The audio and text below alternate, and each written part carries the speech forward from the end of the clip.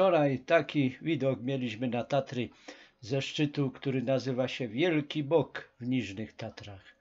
Tu najwyższe szczyty, Łomnica po prawej, Gerlach na lewo, Wysoka, czyli Korona Tatr i Rysy obok niej na lewo, Grań, Baszt, Grań, Solisk i oczywiście Kriwań, Narodowa Góra Słowaków. Na lewo jeszcze taka malutka, na lewo od Kriwania Świnica i Grań w stronę Kasprowego, który schowany za kopami liptowskimi. Ale widać Giewont, teraz w środku troszkę na prawo, a na lewo od niego czerwone wierchy.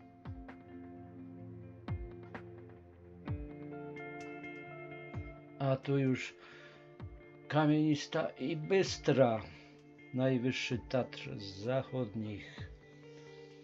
Niżnia Bystra, Starobociański, Raczkowa Czuba,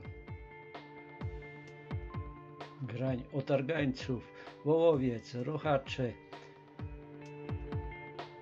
i na lewo Barańce, a tam dalej już Badikowski.